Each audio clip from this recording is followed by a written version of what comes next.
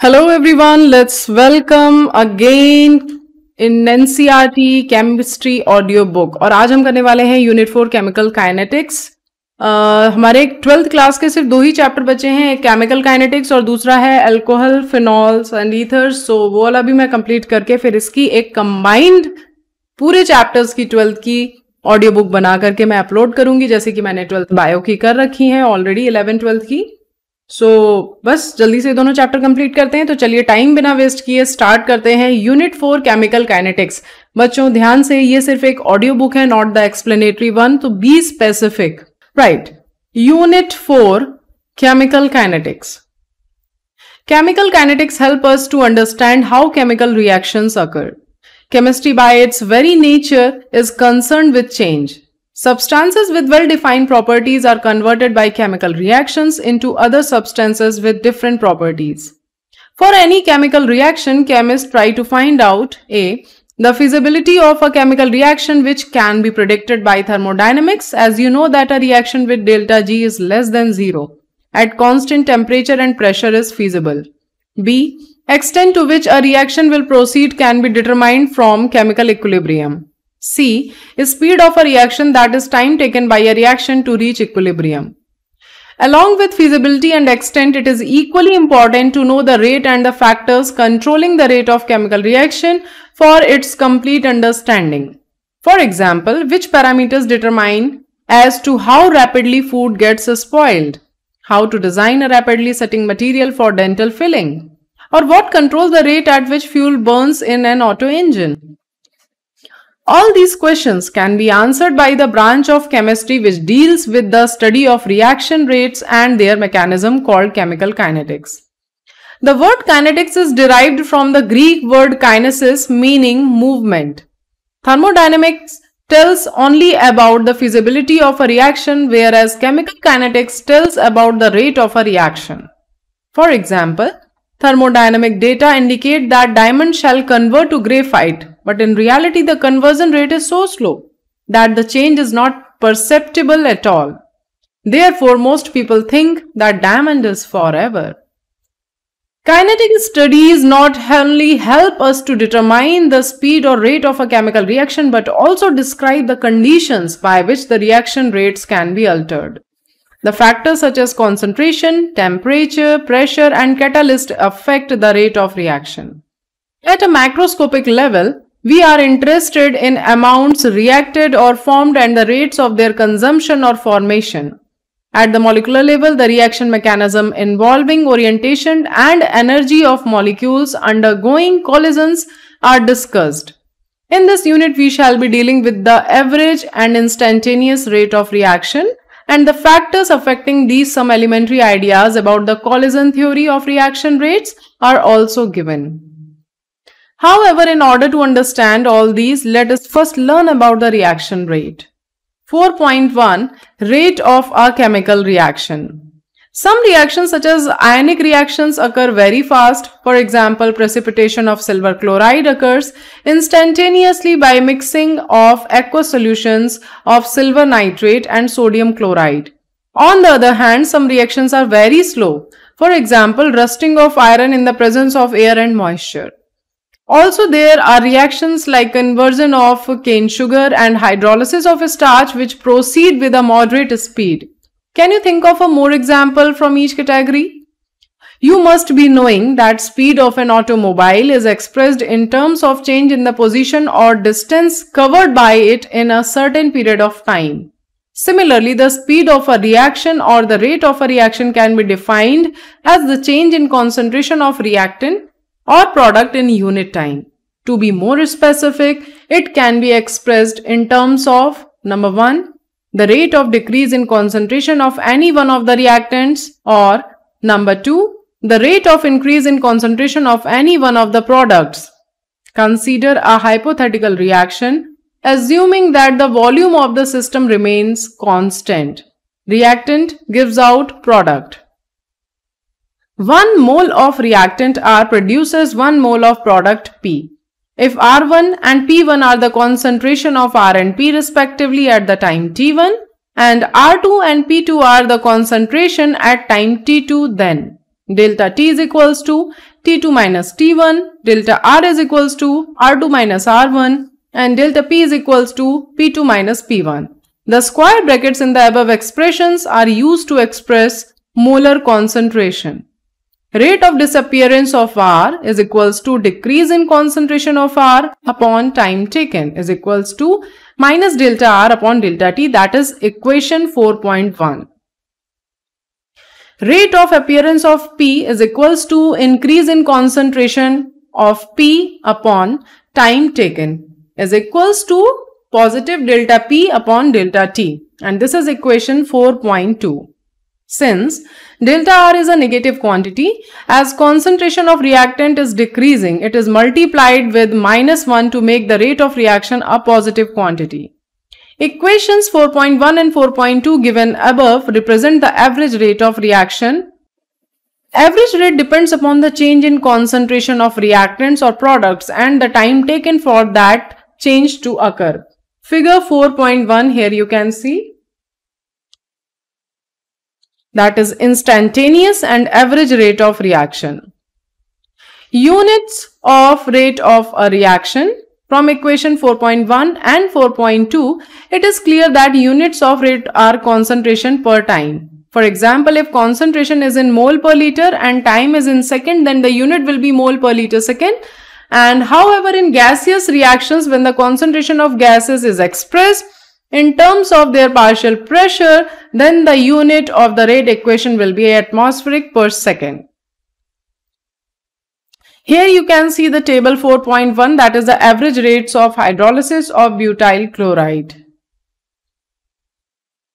It can be seen in table 4.1 that the average rate falls from 1.90 into 0 to the power minus 4 mole per liter per second to 0.4 and 10 to the power minus 4 mole per liter second. However, average rate cannot be used to predict the rate of reaction at a particular instant as it would be constant for the time interval for which it is calculated. So to express the rate at particular moment of time, we determine the instantaneous rate.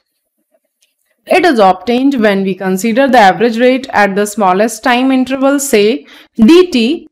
Hence, mathematically and infinitesimally small dt instantaneous rate is given by R average is equals to minus delta R upon delta T is equals to delta P upon delta T. If we are considering delta T is equals to 0, then we are having R instantaneous is equals to minus dr upon dt is equals to dp upon dt. That is equation 4.3.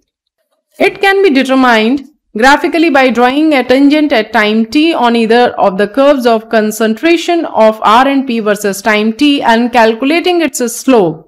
So in problem 4.1, R instantaneous at 600 seconds for example can be calculated by plotting concentration of butyl chloride as a function of time. A tangent is drawn that touches the curve at t is equals to 600 second figure 4.2. This is the figure 4.2. Figure 4.1 was initially it was. Now the next reaction we are having Hg plus Cl2 gives out HgCl2 where stoichiometric coefficients of the reactants and products are same. Then rate of the reaction is given as rate of reaction is equals to minus delta Hg upon delta T is equals to minus delta Cl2 upon delta T is equals to delta HgCl2 upon delta T.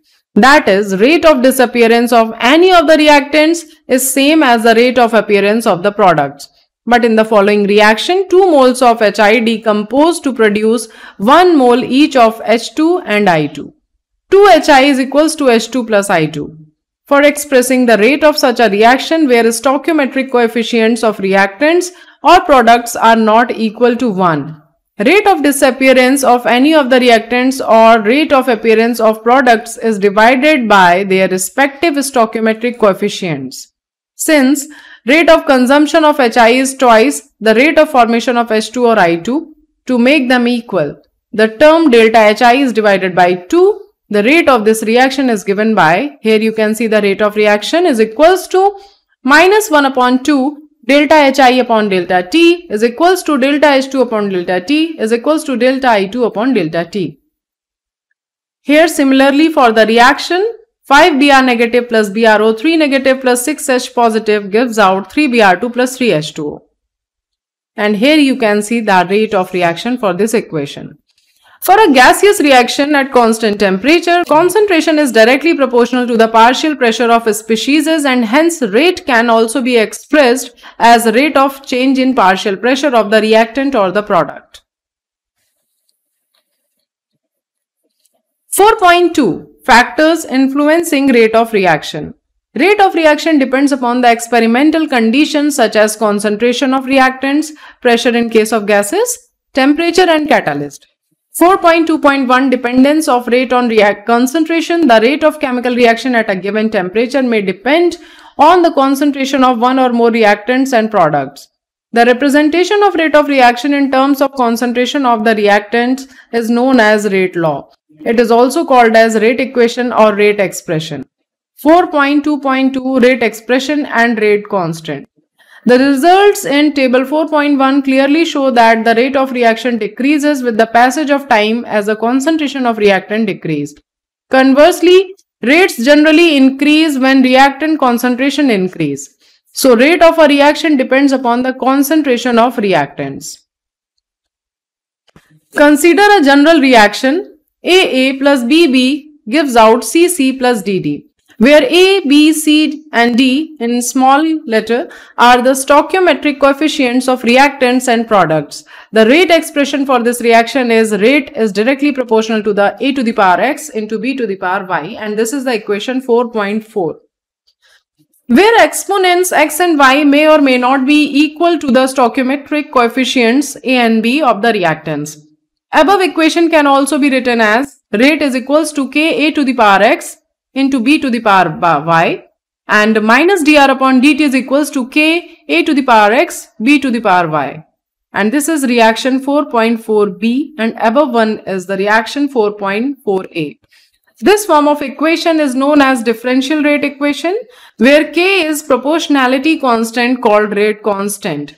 The equation like 4.4 which relates the rate of a reaction to concentration of reactants is called rate law or rate expression.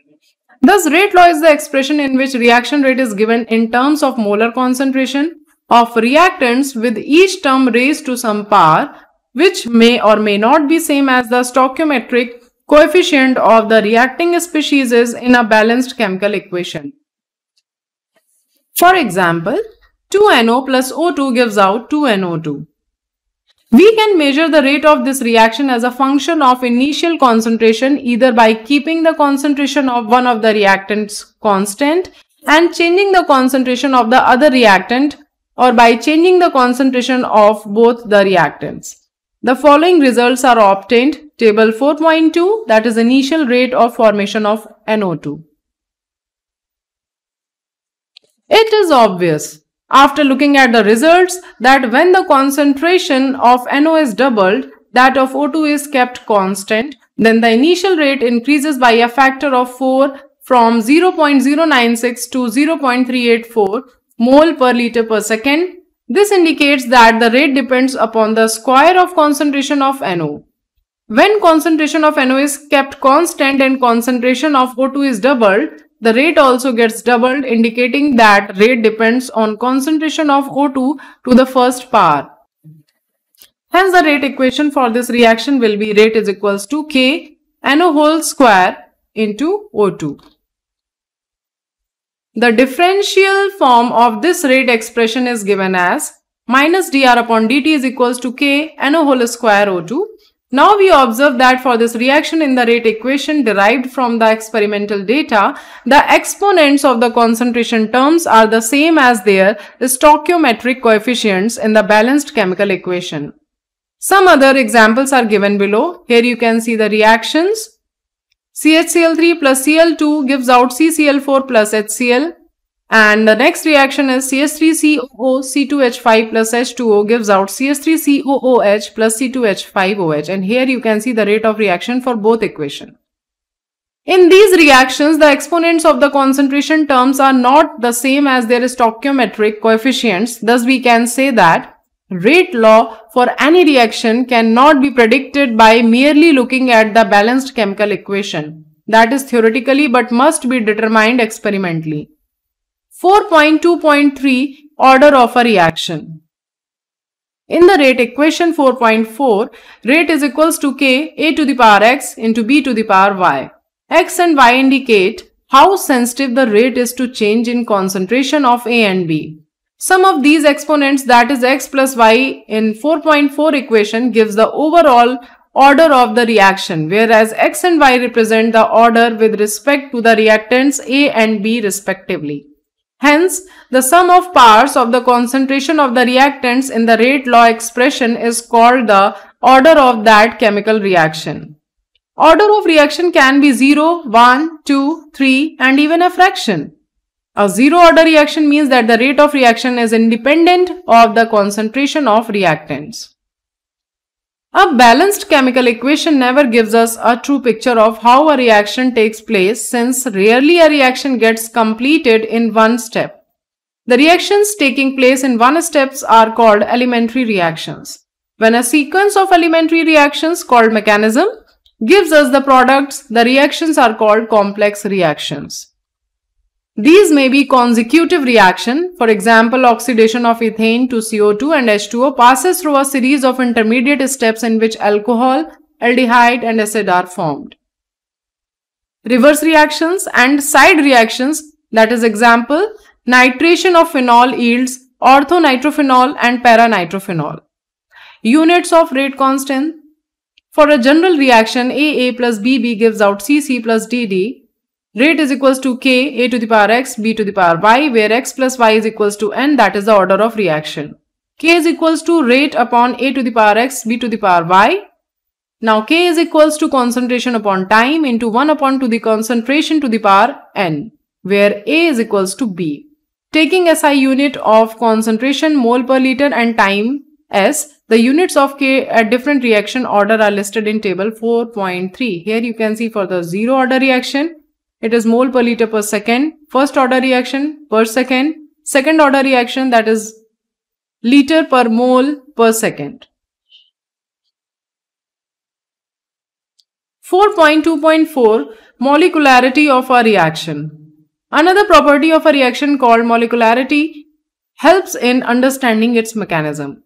The number of reacting species is, that is atoms, ions or molecules taking part in elementary reaction which must collide simultaneously in order to bring about a chemical reaction is called molecularity of a reaction. The reaction can be unimolecular when one reacting species is involved, for example, decomposition of ammonium nitrite. Here you can see the reaction NH4NO2 gives out N2 plus 2H2O. Bimolecular reactions involve simultaneous collision between two species, for example, dissociation of hydrogen iodide 2Hi plus H2 plus I2. Trimolecular or termolecular reactions involve simultaneous collisions between three reacting species. For example, 2NO plus O2 gives out 2NO2. The probability that more than three molecules can collide and react simultaneously is very small. Hence, reactions with the molecularity 3 are very rare and slow to proceed. It is therefore evident that complex reactions involving more than three molecules in the stoichiometric equation must take place in more than one step. Reaction is KClO3 plus 6 FeSO4 plus 3H2SO4 gives out KCl plus 3Fe2SO4 whole thrice plus 3H2O. This reaction which apparently seems to be of 10th order is actually a second order reaction. This shows that this reaction takes place in several steps. Which step controls the rate of all overall reaction? The question can be answered if we go through the mechanism of reaction. For example, chances to win the relay race competition by a team depend upon the slowest person in the team. Similarly, the overall rate of the reaction is controlled by the slowest step in a reaction called the rate determining step. Consider the decomposition of hydrogen peroxide which is catalyzed by iodide ion in an alkaline medium. Here you can see this reaction. 2H2O2 gives out 2H2O plus O2 and the medium is alkaline. The rate equation for this reaction is found to be rate is equals to minus d H2O2 upon dt is equals to K H2O2 into I negative. This reaction is first order with respect to both H2O2 and I negative. and evidences suggested that this reaction takes place in two steps. Number one, H2O2 plus I negative gives out H2O plus IO negative and number 2 H2O2 plus IO negative gives out H2O plus I negative plus O2. Both the steps are bimolecular elementary reactions. A species is IO negative is called as an intermediate since it is formed during the course of the reaction but not in overall balanced equation. The first step being slow is the rate determining step. Thus, the rate of formation of intermediate will determine the rate of this reaction. Thus, from the discussion till now, we conclude the following. Number one, order of a reaction is an experimental quantity. It can be zero and even a fraction, but molecularity cannot be zero or non-integer. Number two, Order is applicable to elementary as well as complex reactions whereas molecularity is applicable only for elementary reactions. For a complex reaction, molecularity has no meaning. Number third, for complex reaction, order is given by the slowest step and molecularity of the slowest step is same as the order of the overall reaction. 4.3 Integrated Rate Equation we have already noted that concentration dependence of rate is called differential rate equation. It is not always convenient to determine the instantaneous rate as it is measured by the determination of slope of the tangent at point t in concentration versus time plot. This makes it difficult to determine the rate law and hence the order of reaction. In order to avoid this difficulty, we can integrate the differential rate equation to give a relation between directly measured experimental data, that is concentration at different times and rate constant. The integrated rate equations are different for the reactions of different reaction orders. We shall determine these equation only for zero and first order chemical reaction. 4.3.1 Zero order reaction Zero order reaction means that the rate of reaction is proportional to zero power of the concentration of reactants. Consider the reaction R gives out P. Rate is equals to minus dr upon dt is equals to kr to the power 0. As any quantity raised to power 0 is unit, rate is equals to minus dr upon dt is equals to k into 1. So dr is equals to minus k dt. Now we are integrating both sides. r is equals to minus kt plus i where i is the constant of integration. At t is equals to 0, the concentration of the reactant r is equals to R naught, where R naught is initial concentration of reactant. Now the substituting the in equation 4.5, this is the equation 4.5, we are having as a result R naught is equals to I. Substituting the value of I in the equation 4.5, we are getting R is equals to minus KT plus R naught. Here you can see figure 4.3. Comparing 4.6 with equation of a straight line y is equals to mx plus c, if we plot r against t, we set a, we get a straight line figure 4.3 with slope is equals to minus k and intercept equal to r naught. Now we are simplifying the equation that is k is equals to r naught minus r upon t. Zero order reactions are relatively uncommon but they occur under special conditions. Some enzyme catalyze reactions and reactions which occur on metal surfaces are few example of zero order reaction. The decomposition of gases ammonia on a hot platinum surface is zero order reaction at high pressure. Here you can see this reaction to NH3 at 1130 Kelvin in the presence of platinum catalyst gives out N2 plus 3H2. So rate is equals to K NH3 to the power 0 is equals to K. In this reaction, platinum metal act as a catalyst. At high pressure, the metal surface gets saturated with gas molecules. So a further change in reaction condition is unable to alter the amount of ammonia on the surface of the catalyst, making rate of the reaction independent of its concentration. The thermal decomposition of HI on gold surface is another example of zero order reaction.